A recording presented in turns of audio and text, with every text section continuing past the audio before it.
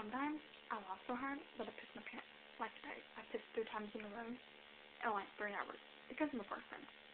And I'm going to fix that. Just so you know. And that was useless information.